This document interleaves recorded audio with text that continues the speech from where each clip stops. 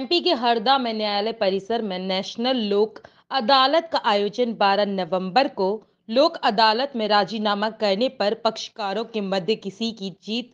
किसी की हार नहीं होती। दोनों पक्ष जीतते हैं, बैठक में न्यायाधीश द्वारा मीडिएशन के माध्यम से प्रकरणों का निराकरण करने एवं लोक अदालत में राजीनामा, योग्य प्रकरणों का अधिक से अधिक संख्या का निराकरण किए जाने के संबंध में जानकारी दी गई। खिड़किया मध्य प्रदेश राज्य विधिक सेवा प्राधिकरण, जबलपुर एवं जिला विधिक सेवा प्राधिकरण हरदा के आदेश के पालन में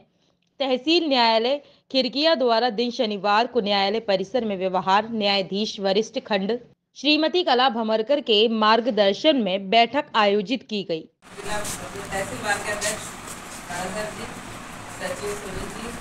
हमारे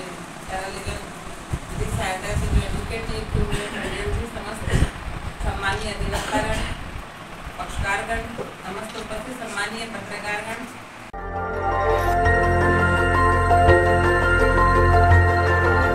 देखते रहिए डीवी भारती समाचार